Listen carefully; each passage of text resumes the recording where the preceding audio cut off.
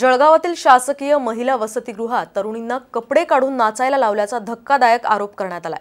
आणि या कृत्यात काही पोलीस कर्मचारी सुद्धा सहभागी असल्याचं पीडितांचं म्हणणं आहे. या थेट प्रकरणाचे विधिमंडळात पडसादू म्हटलेत. पाहुयात.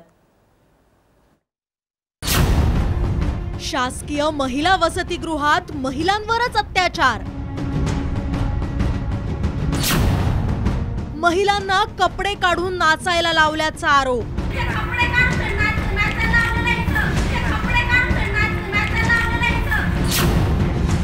राज्य सरकारकडून घटनेच्या चौकशीचे आदेश. जळगावातल्या गणेश कॉलनीतील हे आशादीप वसतिगृह पहा.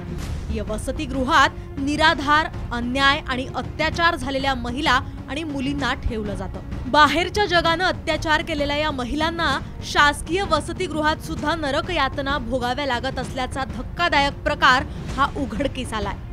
या वसतिगृहात काही महिलांना कपडे काढून नाचायला लावल्याचा आरोप तिथल्या काही महिलांनीच केलाय.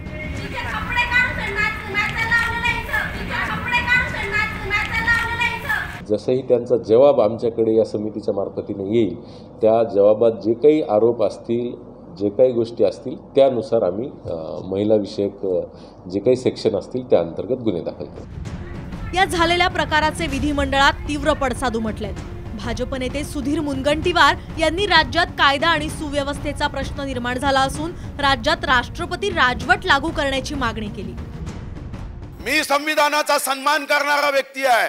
पण तुम्ही एकशे एक पाप केली. आता राष्ट्रपती राजवटीशिवाय पर्याय नाही असं वाटायला लागताय. कारण आता आमच्या आई बहिणीची थट्टा केल्या जात असेल.